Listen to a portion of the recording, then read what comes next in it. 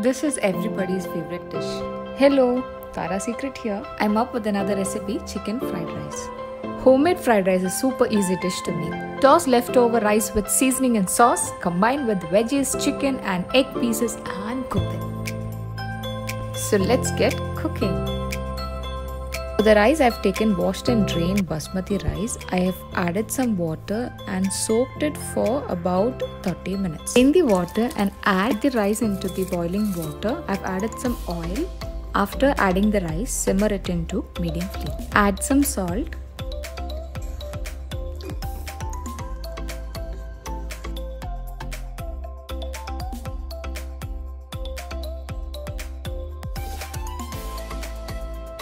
Don't allow the rice to cook more than 75 to 80 percent. If you cook them like normal rice, it tends to clump.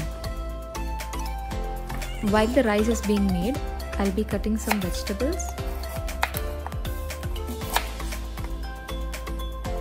We have soaked it for 30 minutes so when it starts to rolling boil, check the rice if it's done. So this is how the rice should be. Rice is cooked, immediately drain the water and keep it in a, a plate or a tray. Be keeping the rice in the fridge for half an hour. I've got kadai on medium heat and once it heats up, I'll go in with some oil. Adding in some eggs.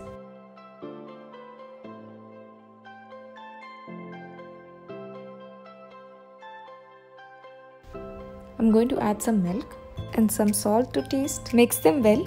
Once it starts to set, I'll begin to scramble.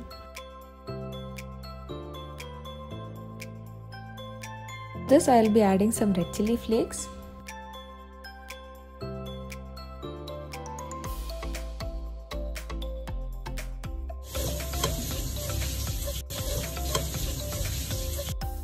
Once it's done, keep them aside. To the kadai, I'm going to add some oil. I've used vegetable oil. You can use any other oil that you prefer. Few finely chopped garlic. I'll fry this for about 4 to 5 minutes or until it begins to brown. Please don't burn it. Adding some spring onions, some beans,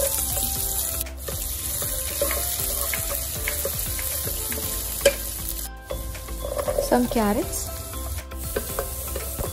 You can add veggies of your choice.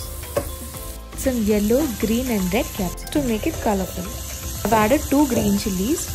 I've added some salt. When you add salt, don't forget that you've put salt in eggs and rice. Once the veggies are done, I'm going to add the scrambled eggs.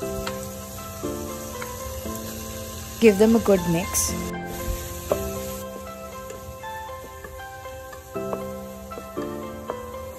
Cook the chicken in some water, adding pepper and salt. We're adding some cooked chicken.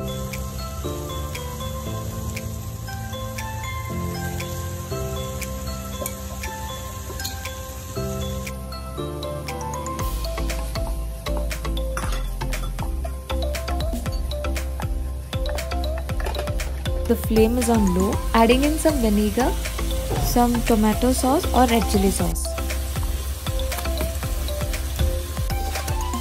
give them a good mix. Next, I'll transfer the rice into the eggs. I'm going to do this gradually so that I don't end up with too much rice or overcrowded.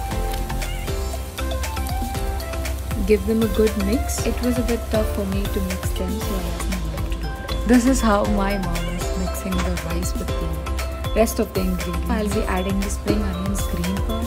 This is what it looks like. Absolutely gorgeous. Trust me, it tastes even better than it looks. I'll be having them with some chili chicken. For more such easy and quick recipe, please like, share and subscribe. Keep watching Tara Secret.